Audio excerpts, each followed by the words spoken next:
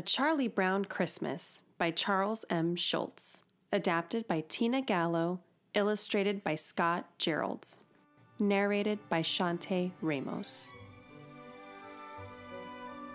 It's the most magical time of the year. Christmas is coming. The air is crisp and cold, children are ice skating, and the sound of Christmas carols fills the air. Everyone is in the holiday spirit. Well, almost everyone.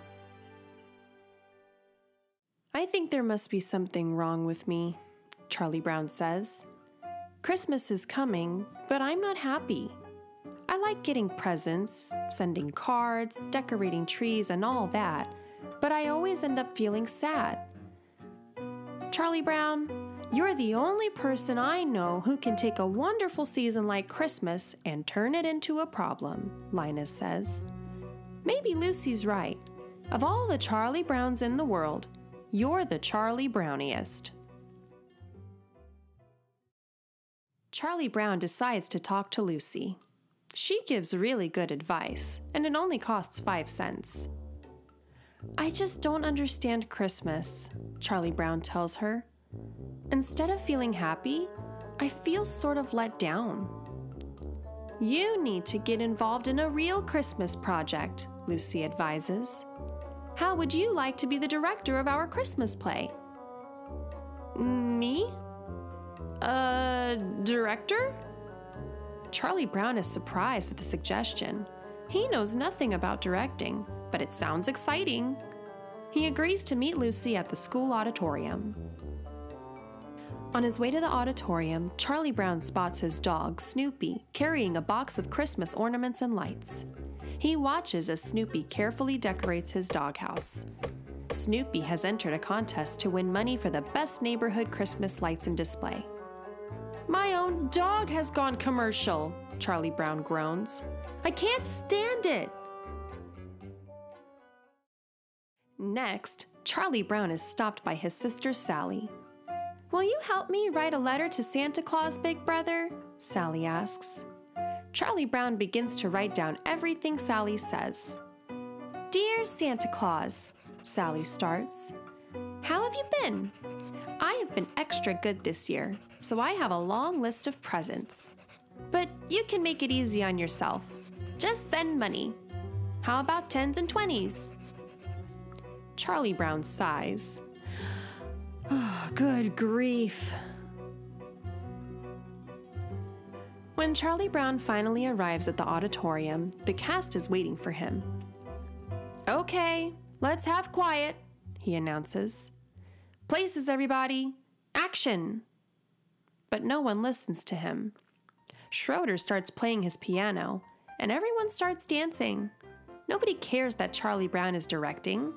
Nobody cares about the play. They just want to dance. Charlie Brown feels even worse than he did before. This Christmas play is all wrong, he moans. Lucy tries to make him feel better. Everybody knows Christmas is just a time of year for people to buy stuff, she says. But Charlie Brown disagrees. This is one play that is going to be different. We need something to set the proper mood. We need a Christmas tree. That's it, Lucy exclaims. We need a Christmas tree. A great big shiny aluminum tree. You go get the tree, Charlie Brown. I'll take Linus with me, Charlie Brown says. The rest of you can practice your lines. Lucy is excited about the Christmas tree. Get the biggest aluminum tree you can find, she orders. Maybe painted pink. When Charlie Brown and Linus arrive at the Christmas tree lot, they are surrounded by fake trees. Some are plastic, some are aluminum, some are painted different colors, some even have polka dots.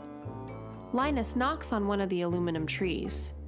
Do they still make wooden Christmas trees? He wonders out loud. Meanwhile, Charlie Brown is starting to feel sad again. None of these trees feel right to him.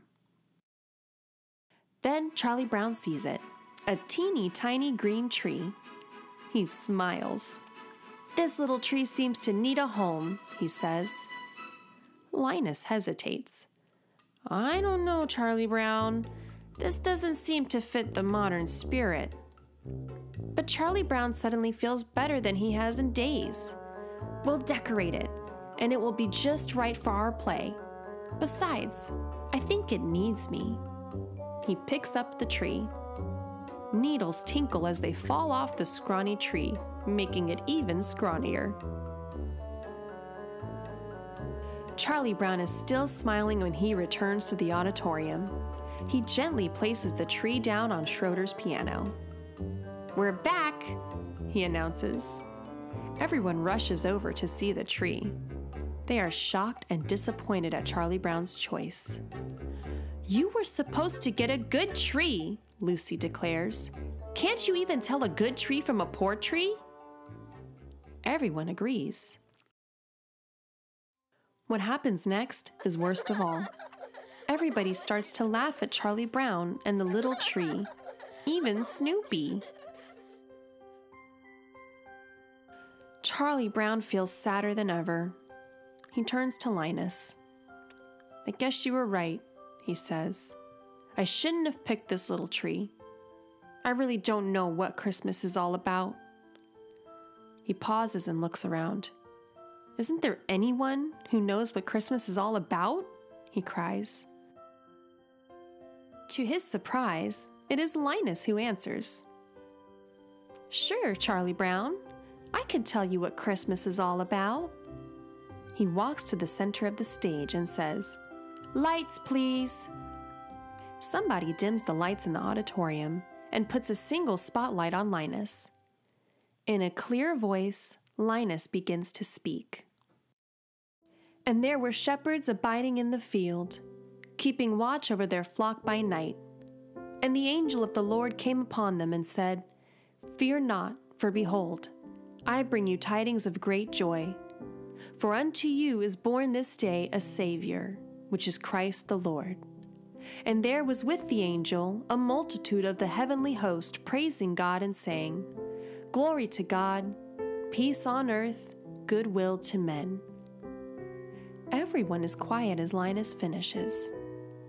That's what Christmas is all about, Charlie Brown, he says. Charlie Brown picks up his little tree and steps outside. He looks up at the dark sky full of twinkling stars. He finally feels happy, deep down inside, the way Christmas is supposed to make you feel. Linus is right, he says to himself. I'm not going to let everyone else's greed spoil my Christmas. I'll take this little tree home and decorate it, and show everyone it really will work in our play. Charlie Brown passes Snoopy's fully decorated doghouse. Snoopy won first prize. He takes a shiny red ornament off the doghouse and hangs it on the little tree but the ornament is too heavy, and the little tree topples over. Charlie Brown is horrified. I've killed it, he cries. Everything I touch gets ruined.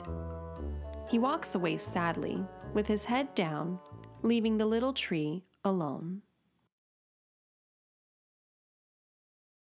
After Charlie Brown leaves, the others find the tree I never thought it was such a bad little tree, Linus says. He wraps his blanket around the tree's base. It's not bad at all. Really. All it needs is a little love. Without saying a word, the other kids begin taking the decorations off of Snoopy's doghouse and putting them on the tree. It doesn't take long for them to transform the little tree into something magical.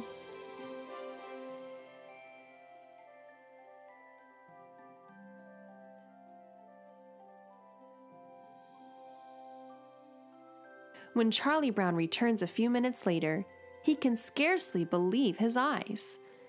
First, he looks at Snoopy's bare doghouse, then at the beautiful tree. What's going on here? He asks. Then he looks at his friends. Their faces are all shining with joy. Merry Christmas, Charlie Brown! They shout and before Charlie Brown can say another word, They start to sing Christmas carols. Charlie Brown smiles and starts singing with his friends. He knows it is going to be the best Christmas ever.